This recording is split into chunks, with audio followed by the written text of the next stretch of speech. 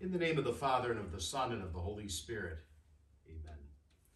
The grace of our Lord Jesus Christ, the love of God, and the communion of the Holy Spirit be with all of you and with your spirit. Brothers and sisters in Christ, as we prepare to celebrate the Lord's sacred mysteries, we call to mind our sins, and we ask for our God's mercy and forgiveness.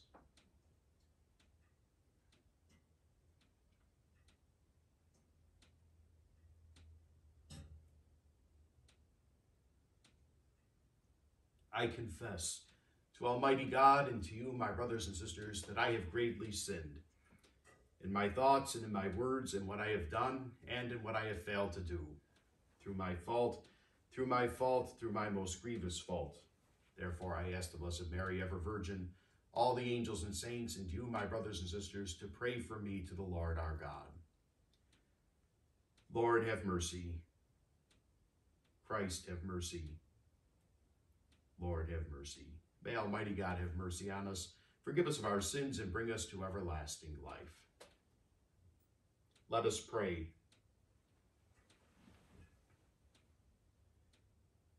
Grant, we pray, O Lord, that schooled through Lenten observance and nourished by your word, through holy restraint we may be devoted to you with all our heart and be ever united in prayer through our Lord Jesus Christ, your Son, who lives and reigns with you in the unity of the Holy Spirit, one God, forever and ever. Amen.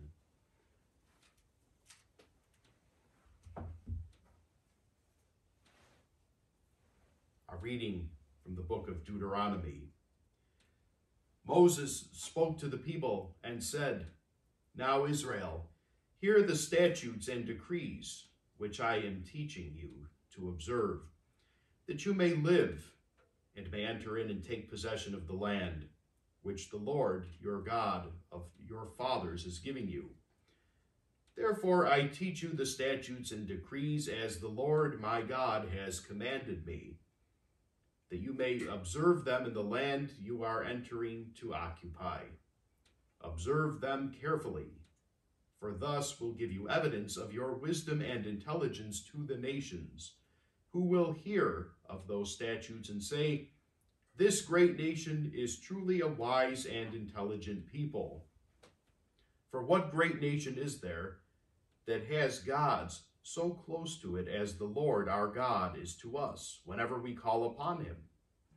Or what great nation has statutes and decrees that are just as this whole law, which I am setting before you today? However, Take care and be earnestly on your guard not to forget the things which your own eyes have seen, nor let them slip from your memory as long as you live, but teach them to your children and to your children's children. The word of the Lord. Thanks be to God. Our response, praise the Lord, Jerusalem. Praise the Lord, Jerusalem. Glorify the Lord, O Jerusalem. Praise your God, O Zion, for he has strengthened the bars of your gates.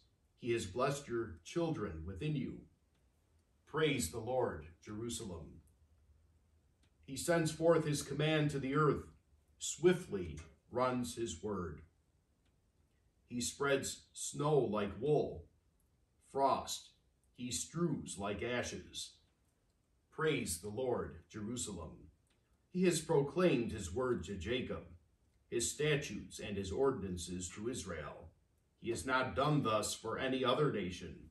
His ordinances he has not made known to them. Praise the Lord, Jerusalem. May the Lord be on my heart and my lips, that I may proclaim your holy gospel worthily and well. The Lord be with you, and with your spirit. A reading from the Holy Gospel according to Matthew. Jesus said to his disciples, Do not think that I have come to abolish the law or the prophets. I have come not to abolish, but to fulfill. Amen, I say to you, until heaven and earth pass away, not the smallest letter or the smallest part of a letter will pass from the law, until all things have taken place. Therefore, whoever breaks one of the least of these commandments and teaches others to do so will be called least in the kingdom of heaven. But whoever obeys and teaches these commandments will be called greatest in the kingdom of heaven. The Gospel of the Lord. Praise to you, Lord Jesus Christ.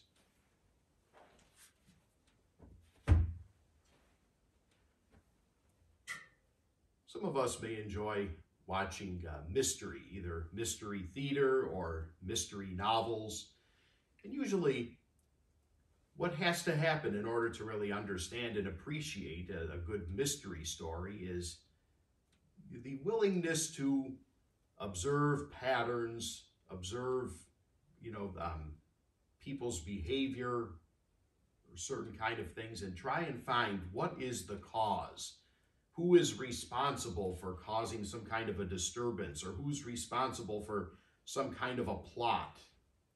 And then if we're tuned into that and really um, analyzing that carefully or on the lookout for that cause, when it does happen, when it's finally revealed in the story, if we had been attentive all along, we could see how now everything makes sense. It all fits into the perpetrator's scheme. Everybody, you know, who was doing this behavior, this pattern was cooperating with him, or this was some kind of a trademark that he left um, wherever he caused some kind of a disturbance. So like one thing, one fact, one person makes many other things make sense. Now, Jesus is by no means a perpetrator. So, you know, we don't portray him the same way that uh, perpetrators are portrayed in uh, mystery novels or other kind of stories. But there is something uh, similar, a similar principle here that our gospel talks about today. And that's Jesus is the one who fulfills and crowns with its meaning the law and the prophets. Everything that had been uh, revealed to the people of Israel in anticipation of Jesus, especially the law of God, you know, that was first given through Moses and, you know, and then repeated, you know, several times over. Um, we could see that Jesus is the one who is the purpose of it. He's not the replacement of it. Now, did Jesus free us from the punishment that the law prescribed? Yes, he did, but he did not um, distract us in any way or take away what the law calls us to do, how the law calls us to live, and what the prophets had been foretelling. In the person of Jesus, all of those centuries of prophecy, now they make sense because in one person we could see the fulfillment of everything that had been hoped for. But as we are reminded of the law, it's important that we also remember that the law was given for our benefit, not for God's. God gave us the law so that his love, the covenant that he made with us, could be safeguarded and lived as sincerely and in as life-giving of a way as possible. So, having been fortunate to have known Jesus, to behold him, and to appreciate how Jesus has fulfilled the law and the prophets, let us continue to give him wholehearted homage by keeping his commands, but also by growing in his love and sharing the love that he has given us with all who may need it.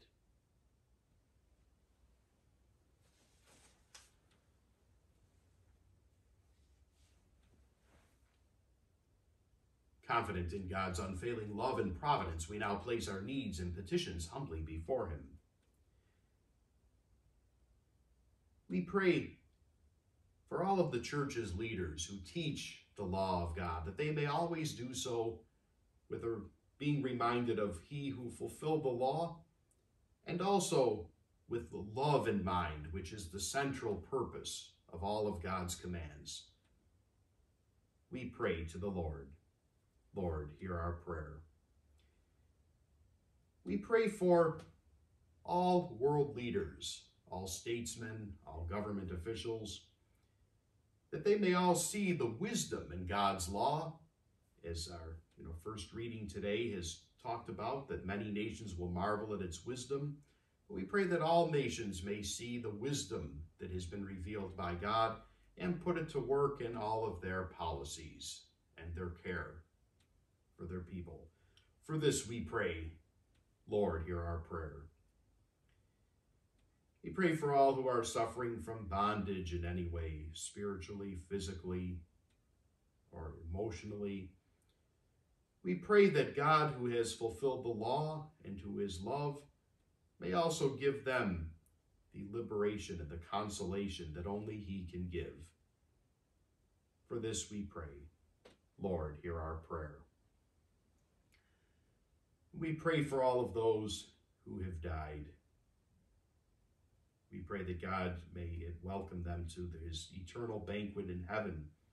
In a special way today, we pray for the repose of Joshua Johnson, that he and all others may rest forever in Christ's peace. For this we pray. Lord, hear our prayer. Heavenly Father, these are our needs and our petitions that we bring before you today. We ask that you grant them according to your good will for us through your Son, Jesus Christ, our Lord. Blessed are you, Lord God of all creation. Through your goodness we have received the bread we offer you, the fruit of the earth and work of human hands. It will become for us the bread of life. Blessed be God forever.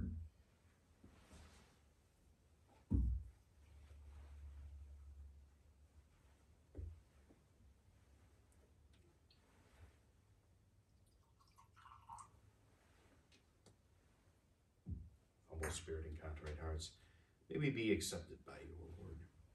By the mystery of this water and wine, may we come to share in the divinity of Christ, who humbled himself to share in our humanity. Blessed are you, Lord, God of all creation. Through your goodness we have received the wine we offer you, the fruit of the vine, and work of human hands. It will become our spiritual drink. Blessed be God forever. Humble spirit and may we be accepted by you, O Lord and may our sacrifice in your sight this day be pleasing to you, Lord God. Lord, wash me of my iniquities and cleanse me from my sins.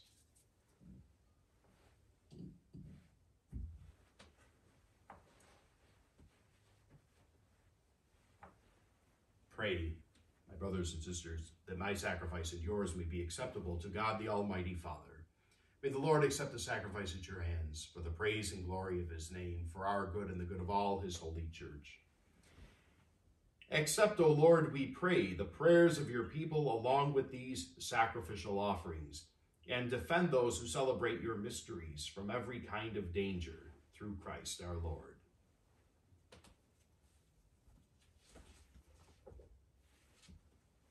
The Lord be with you. Lift up your hearts. Let us give thanks to the Lord our God. It is truly right and just, our duty and our salvation always and everywhere to give you thanks, Lord, Holy Father, Almighty and Eternal God.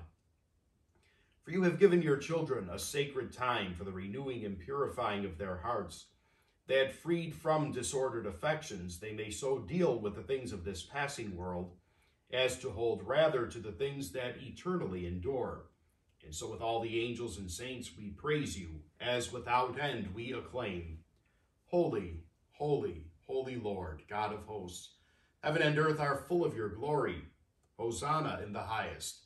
Blessed is he who comes in the name of the Lord. Hosanna in the highest.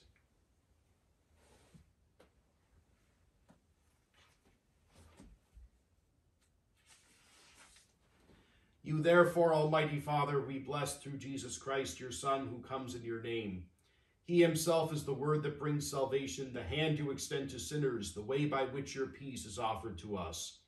When we ourselves had turned away from you on account of our sins, you brought us back to be reconciled, O Lord, so that converted at last to you, we might love one another through your Son, whom for our sake you handed over to death and now celebrating the reconciliation Christ has brought us, we entreat you. Sanctify these gifts by the outpouring of your Spirit, that they may become the body and blood of your Son, whose command we fulfill when we celebrate these mysteries.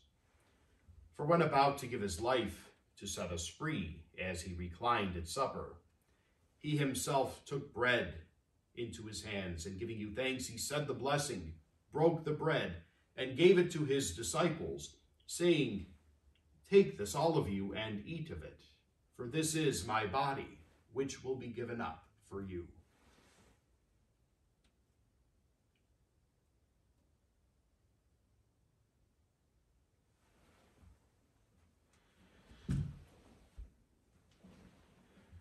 In a similar way, on that same evening, he took the chalice of blessing in his hands, confessing your mercy, and gave the chalice to his disciples, saying, Take this, all of you, and drink from it, for this is the chalice of my blood, the blood of the new and eternal covenant, which will be poured out for you and for many for the forgiveness of sins.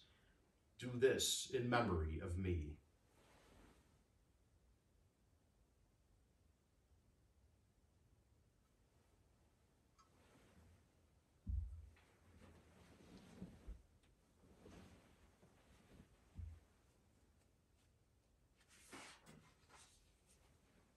The mystery of faith.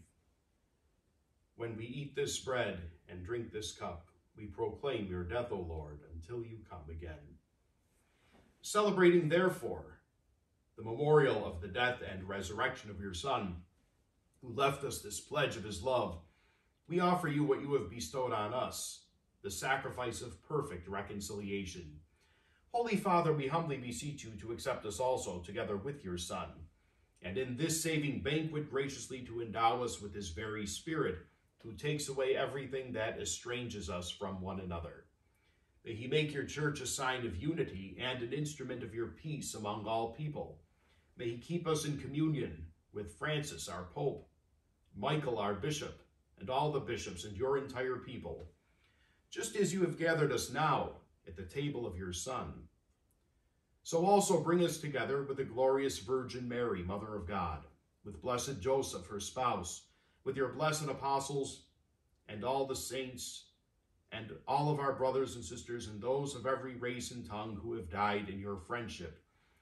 Bring us to share with them the unending banquet of unity in a new heaven and a new earth, where the fullness of your peace will shine forth in Christ Jesus our Lord.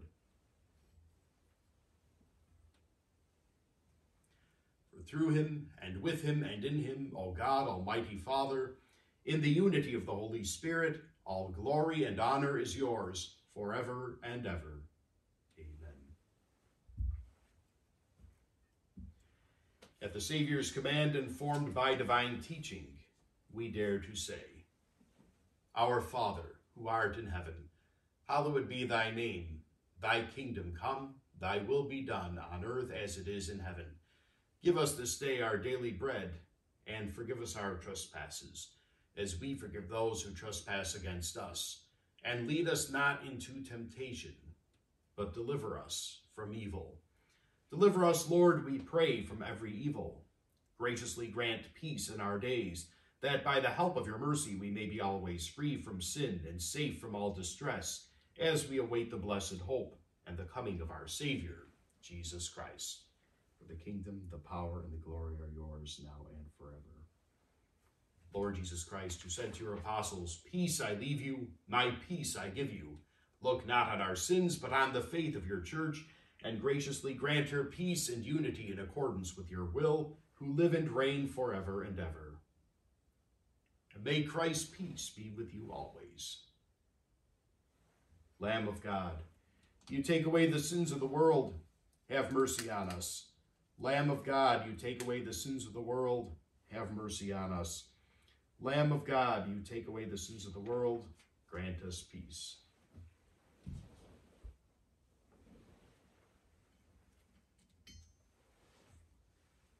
Behold the Lamb of God. Behold him who takes away the sins of the world. Blessed are those who are called to the supper of the Lamb. Lord, I'm not worthy that you should enter under my roof, but only say the word, and my soul shall be healed.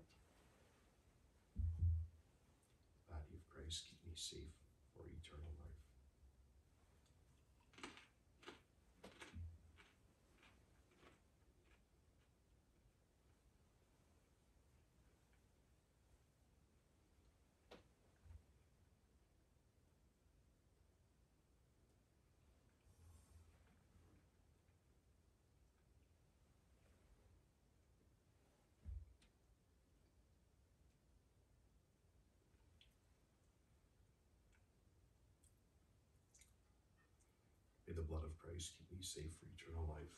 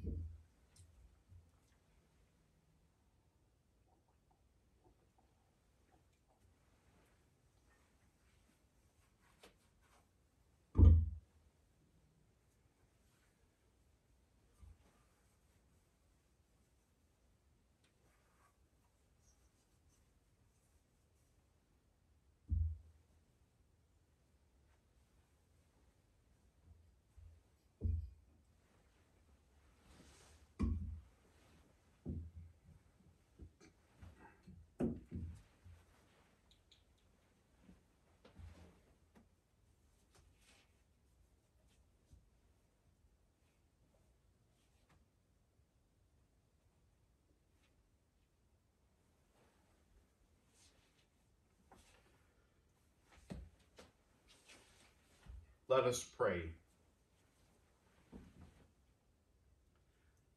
May the heavenly banquet at which we have been fed sanctify us, O Lord, and cleansing us of all errors, make us worthy of your promises from on high, through Christ our Lord. May the Lord be with you. May Almighty God bless you, the Father, the Son, and the Holy Spirit. Go in peace glorifying the Lord by your life.